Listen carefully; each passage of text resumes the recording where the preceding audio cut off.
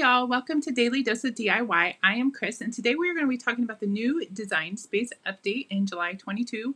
Yours might have hit in June of 22. Um, it is a rolling update. I feel like I was probably one of the last ones to get it, but if you don't have this update yet, it is coming soon. And there are quite a few changes, but I do believe they are for the better minus some of the glitches that um, come with updates.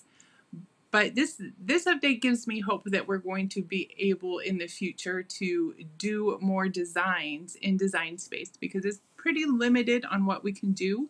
But this update is bringing it more in line of design software.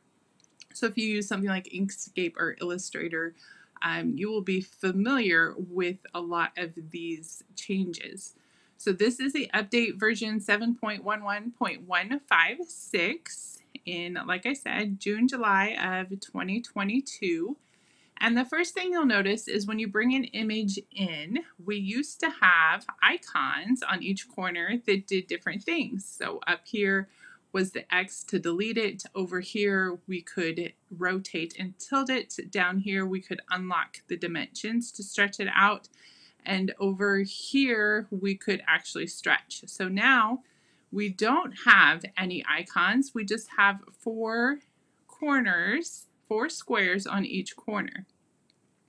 So what that means, you we used to use this corner with the drag, but you can now do that from any square. So I can make it big here by clicking on that square in the corner, or we can make it bigger from this square, or we can make it bigger from this square. So all squares will do the same thing.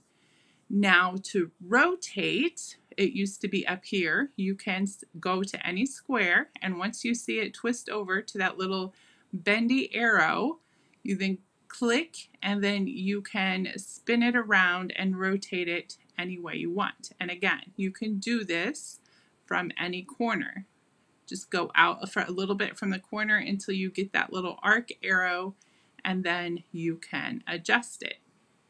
Now probably um, one of the biggest changes that's not so easy is we used to be able to click down here to unlock so we could change the dimensions. And now well it's not now. This has always been here.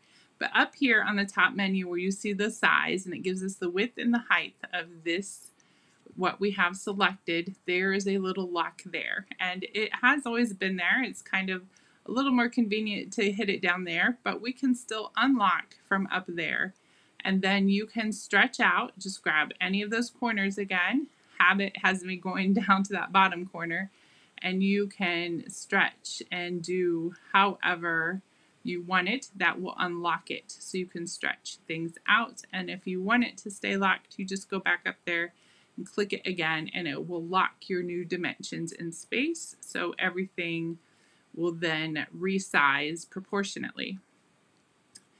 Now, since playing with this, the thing I think I miss the most is the delete button. Old habits die hard, right? I, when if I want to delete something, I go up to this corner and click try to click delete, but it doesn't. There are a few things you can do with it selected. You can go to the top menu over here on the right and there's a little trash can icon so you can click delete and it will make it go away. If, I'm going to undo that again, you can also let it get back in here and select again. You can also just hit delete on your keyboard and that will make it go away. So that is how, let me undo again and bring that back in.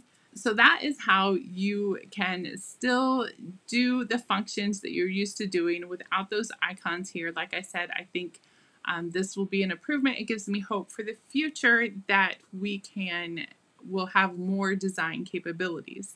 Now the other thing they changed is the text.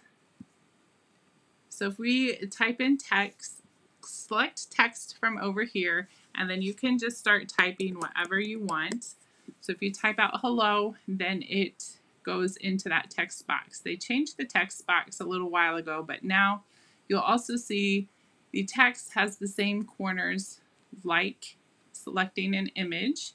So it's the same thing. You get the arc, you can change it, you can unlock it and squish it down. There we go. Squish it down and change the dimensions. You can hit the delete button to make it disappear. What, I'm going to relock it up. What has changed is they now wrap text. So when you make it smaller like that, the letters will go down below or you drag it out. See how that works? So you can easily make, if you want to make this all horizontal, squish it together to get a horizontal word. So that is also helpful for um, designing in Design Space. It took us a lot more before of finagling and aligning. So that is also a cool new update with this version 7.1 1.156. trying to read it as I talk and do things. So my brain can't do three things at once.